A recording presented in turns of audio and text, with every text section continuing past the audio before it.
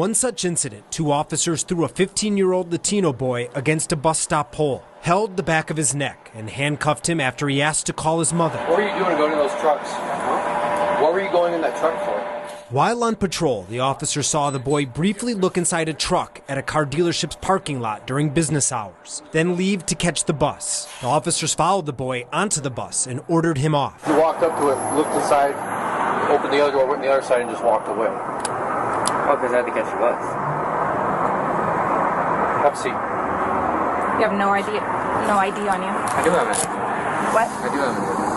Where is it?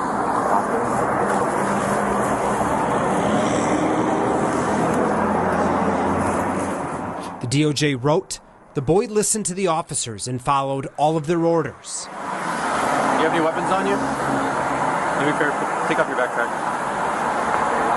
Because I told you to. Take off your backpack. But when one officer demanded the boy take off his backpack, the boy looked up at him and asked, Why? The officer's response was aggressive and demeaning. Because I f***ing told you to. Stand up and put your hands on top of your head. Turn around. Come on, mom.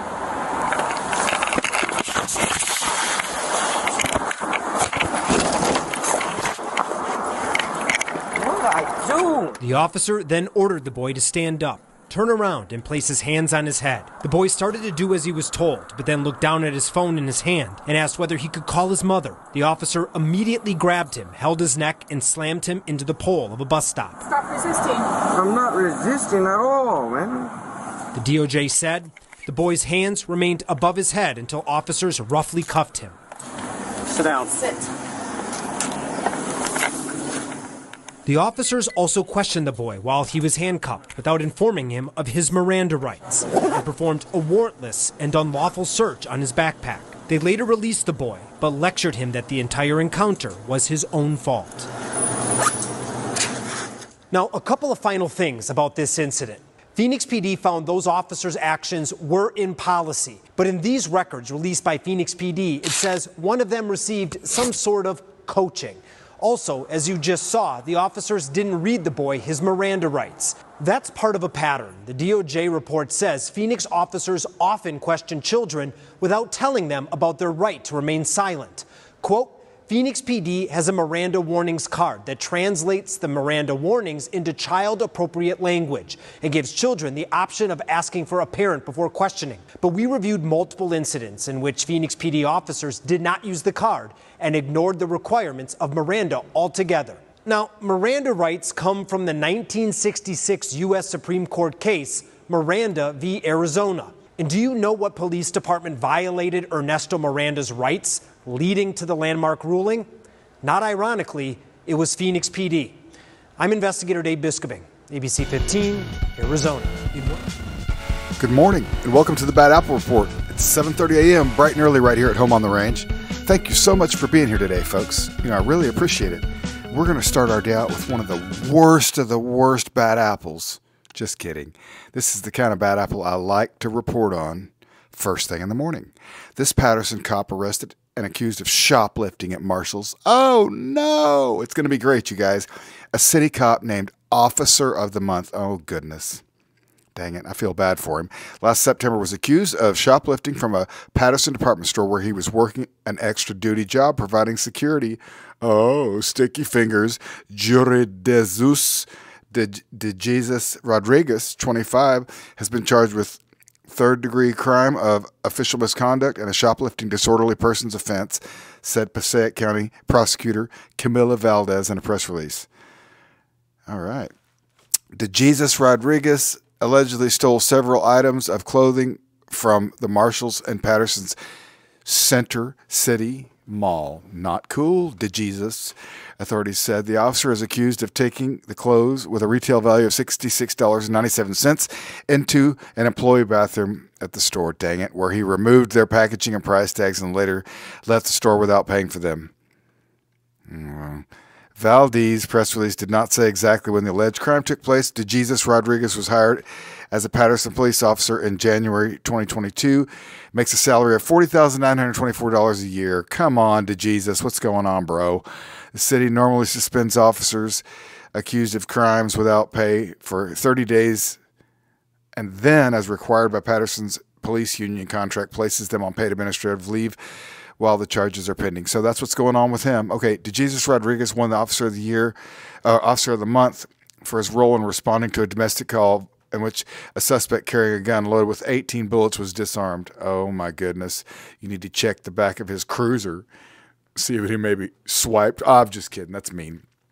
That's mean. I feel bad for you, DeJesus Rodriguez. The Officer of the Month awards were started in 2023 as an effort to showcase the work of city cops. Yay! After the New Jersey Attorney General's office seized control of the Paterson Police Department in March of this year. All right. These charges against DeJesus Rodriguez stemmed from an investigation by the prosecutor's public integrity unit with assistance from the Paterson's Internal Affairs Division. All righty then. I wish we had a picture of old DeJesus Rodriguez, but we don't. Okay. All right. No halo for that guy, that's for sure. All right. Satterwhite, Chief Satterwhite acknowledged that there was failure to the top, at, at the top, really, for years. That's right, Danny. Satterwhite started his presentation by speaking to the issues of HPD being understaffed before ultimately admitting the entire leadership team at HPD missed the scandal time and time again. Satterwhite spoke for over an hour, taking several questions from council members as to how something like this could happen. A code that was not only implemented as policy in 2016, but one that Satterwhite admits officers were trained on in terms of how to use it. Satterwhite also confirming what KPRC2 Investigates first reported in April that sex assault cases involving children had been suspended. Afterwards, the interim chief and the mayor held a news conference. The biggest fail again is that there was no follow up, there was no checking in, there was no looking back to say what actually is going on uh, and is it the right thing to do and how do we fix it if we had, you know, because this could have been fixed many years ago and it's unfortunate that it did not until now. I'm still shocked having worked with HPD, city leadership, the, the employee groups, that this could exist for so many years and not become public. I'm just shocked. Now, as I first reported back in May, the entire investigation was reopened because of integrity questions that were raised regarding a letter that Executive Assistant Chief Chandra Hatcher wrote to then Chief Troy Finner that helped launch the investigation. Multiple law enforcement sources confirmed to KPRC2 Investigates that Hatcher was not truthful in that letter. Again, this is the letter that was used to launch the investigation. During the news conference with Chief Satterwhite, I asked for the status of Hatcher since she was not in attendance today. She is a member of the Houston Police Department, an active member of the Houston Police Department right now. Is she still an executive assistant chief? She will not be a part of the executive team. Has she been demoted? The she is still making decisions. And in respect to her, I'm letting her make those decisions, and she has some time to do that. We, of course, are not done investigating this scandal. We'll have more coming up over the course of the next 24 hours. Live in the newsroom, Mario Diaz, KPRC2 investigates. I do hate that these type of bad apples have to appear on every show, it seems. But you know what? You've got to know if you got the diddler living next door. All right. The former Stallion Springs officer has been arrested in Maine for alleged X crimes. That's him. James Walter Best Jr., making James Walter Best Sr. proud. That's right. Penobscot County Sheriff's Office. All right. Let's see what this goofball has gotten himself into. Charges for sex crimes that may have gone unseen for years. Eyewitness News investigative reporter Leslie Valle delved into the case of the former officer. And we do want to warn you that details of this story may be disturbing for some. On the morning of August 19th, James Walter Best Jr. would be arrested by Penobscot law enforcement at his house in Maine for a sex offense warrant from Kern County.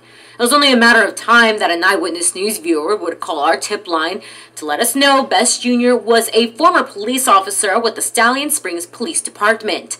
The department is located in the Tehachapi Mountains, about an hour away from Bakersfield.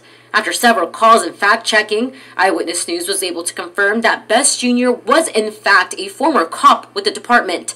However, Stallion Springs officials were not able to tell us for how long he was employed. He faces several charges such as continuous sexual child abuse, several charges of lewd act with a child, and a charge described in short where the victim was unable to resist sexual assault because they were intoxicated. This isn't his only run in with law enforcement either. The Kern County Court website reveals back in 2020 he was on probation for misappropriation of public funds and grand theft. Through public information, we also found that at some point Best Jr. moved from California to Maine. Through court docs, we discovered the current arrest he's facing is for alleged sex crimes against one of his children and that it may have gone unnoticed for several years. They reported it started when they were nine years old and continued until they were of age. The details are so explicit and disturbing, we decided not to share the entirety of the reports that were made against Best Jr. Docs revealed that Best Jr. and his child were interviewed by Kern County law enforcement officials back in October of 2023, where Best was confronted with the allegations. The reports state that he kept saying he was sorry for the things he had done, and he never denied the allegations to officials. Officers reported that he did admit to certain sex acts he was accused of, but continued to deny a majority by saying that he didn't remember. Officials plan for Best Jr. to be extradited back to Kern County, but they told us he's fighting to stay in Maine. Well, there's more to that story. You don't just move all the way across the country unless you're really running from something, all right? So, Best Junior, you made Best Senior proud, making it right here on the Bad Apple Report. All right, and without missing a beat, not even a beat off, this Vermont cop is facing a charge of aggravated assault during an arrest. Okay, and look at his goofy partner. Uh, he's looking at the camera. I think there's a camera on us. Uh, George. And George is down there. Man, do something, bro. Check out the look on George's face down there. Okay, so George is the bad cop down there with the stripes. And he's got a sleeve tattoo like a typical bad cop would. And his partner over here, this knucklehead rookie partner, he's probably training this idiot over here. This is how you do egregious things and get away with it, buddy. Okay, or so he thought. St. Johnsbury, Vermont, a Vermont police officer is facing a charge of aggravated assault for his use of force while attempting to arrest a man during an altercation in St. Johnsbury in May. Okay, St. Johnsbury Police Sergeant George Johnson did not have sufficient cause to stop John Stetzel, age 35, who was walking on a street near a bridge on May 10th. State police said a physical altercation ensued and Johnson used excessive force on Stetzel, who was taken to the hospital for treatment of significant injuries. Okay, Stetzel was later released from the hospital, police said. Police did not provide any details on the type of force allegedly used on Stetzel's injuries. Hmm. Allegedly, there's a camera. And look at this goofball witness partner right there. Let's find out. So, Stetzel originally was charged with multiple violations. Oh. So Stetzel, the guy on the ground, is charged with violations after he got his butt kicked while he was walking. Okay, the Caledonia County Prosecutor's Office dismissed the charges. Oh, that's nice after the review of Johnson's body camera footage, police said. Well, then they should have just immediately arrested Johnson, then, am I right? Caledonia County State's Attorney Jessica Zaleski told the St. Johnsbury Police Chief that she's very concerned, oh, about Johnson's use of force. Oh, the chief referred the case to the Vermont State Police for an independent investigation. Oh, no, is something going to happen? I don't know. Zaleski recused herself and asked the Grand Isle County State's Attorney to review the matter for criminal charges. Okay, Johnson was issued a citation. Is that it?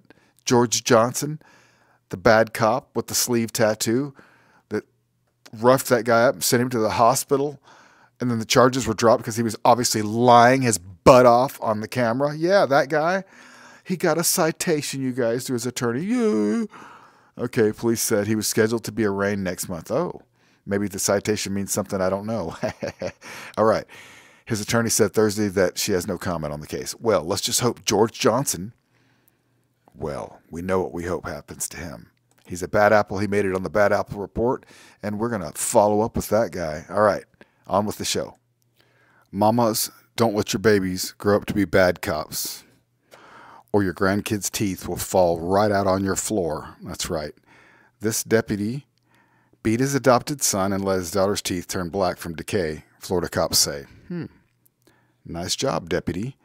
All right, a deputy accused of beating his son and allowing his daughter's teeth to turn black by not giving her a toothbrush now faces charges of child neglect in Florida. He's no longer with the Escambia County Sheriff's Office. Oh, what are they going to do without him? McClatchy News contacted the ex deputy's defense attorney August 8th and did not immediately receive a response. The 40 year old husband and 39 year old wife each face two counts of child neglect without great bodily harm and two counts of parental failure to require school attendance, records show. The husband additionally is charged with child abuse without great bodily harm. McClatchy News is not identifying the couple to avoid identifying their children. On July 28th, deputies responded to a church after receiving a report that someone had told the preacher he was being abused by his father, according to arrest affidavit.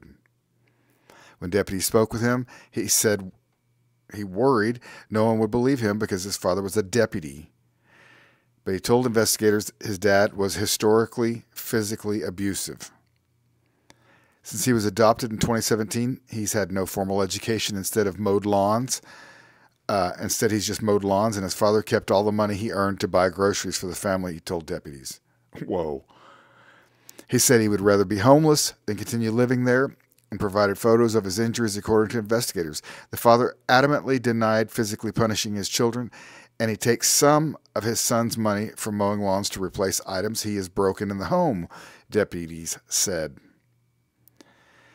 He said he also uses some of the money to buy groceries, but denied taking all of it, deputies said. When investigators, when investigators visited the home where three school aged children lived, they said they noticed one of the children had obvious decay on her front teeth. She said she doesn't brush her teeth because she doesn't have a toothbrush, but added her father has been saving for a new toothbrush and to fix her teeth, according to deputies. Goodness. Photographs of the children's teeth revealed one of them had four front teeth that were black from decay and a large pit in one of her canines, deputies said. The former deputy who worked for the Escambia County Sheriff's Office for a little over two years told investigators he had medical and dental insurance. The husband and wife are also accused of failing to comply with educational standards for homeschooling in Escambia County. One of the children said she did one of two hours of work a day under the supervision of her mother, who traveled often for work, deputies said. The girls didn't know what grade she was in. Oh, the girl didn't, she didn't know what grade she was in and never taken an assessment test by a licensed teacher, investigators said. Hmm. The couple was booked in jail August 3rd, records show. Okay. Escambia County is in the western part of Florida Panhandle, Pensacola, near the county seat. All right. That's the story on that deputy and his wife. And, uh, Dang. That's some pretty grotesque allegations there, buddy. All right, but something we'd expect from a deputy. That's true. Okay, there's always one bad apple to come along to try to ruin our day, and that's this guy, Ritter. Okay, former Tangipahoa Parish deputy arrested on child stuff and malfeasance charges, okay? A former Tangipahoa Parish Sheriff's deputy was arrested on Thursday after an investigation uncovered evidence of child stuff. The Hammond Police Department arrested 34 year old Brent Ritter, who has been booked with one count of possession of child stuff and one count of malfeasance in office. Hammond detectives were conducting an unrelated investigation involving Ritter when they discovered child stuff on his electronic device belonging to him. Well, what was that other investigation about, guys? The discovery led to further action, and with the assistance of the Louisiana Bureau of Investigation, Office Attorney General, search warrants were executed at Ritter's residence. Uh oh, Ritter. Additional electronic devices were seized for examination. In response to the findings, Tangipahoa Sheriff Gerald Sticker placed Ritter on administrative leave and required him to surrender his uniforms, gear, and vehicle. Now, that's what we want to see, guys. We want to see a video of that. That's some viral stuff right there, fellas. Okay, Sheriff Sticker later terminated Ritter, who had been served with the sheriff's office. Oh, he has served there for six years. Ooh, creepy Ritter, allegedly. 34 year old knucklehead. All right, that's it, folks. Our Monday Bad Apple report is complete, and I'm gonna go find some more bad apples for tomorrow. And we'll see you right back here at 7:30 a.m. bright and early. Have a great day, folks.